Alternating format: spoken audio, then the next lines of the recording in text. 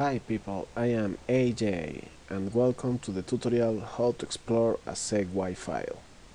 Okay, in the last video I'll, I showed you how to download the repository that contains the toolkit to perform SEG-Y uh, file headers manipulation. So now I'm going to show you how to compile the first useful command that you will need and it is located in the first folder.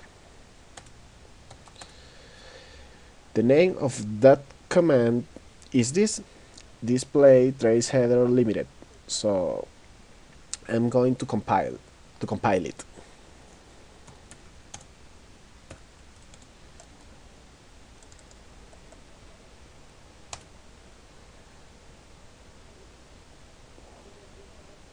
Oh sorry.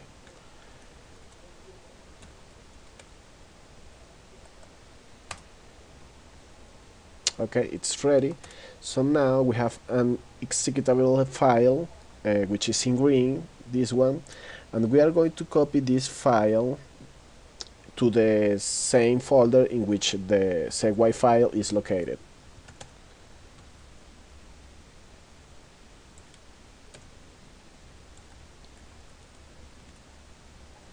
we are going to move until that folder. Fine. Now we have the SEG-Y file and the command in the same folder so we are going to use and it is very used to very easy to use. First we write the, the executable command.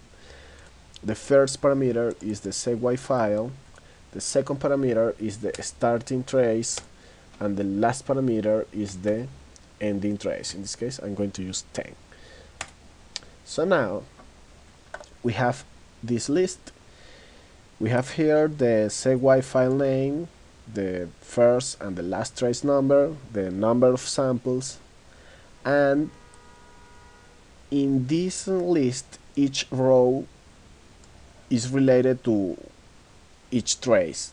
For example, for the first trace, we can see that the sequential number of the trace in the line is 1, the sequential number of the trace in the file is 1, it is the CDP number, it is the sequential number in the CDP, the CDP fold, the offset, X coordinate, Y coordinate, inline number, and crossline number. So, it's useful to explore all the seismic data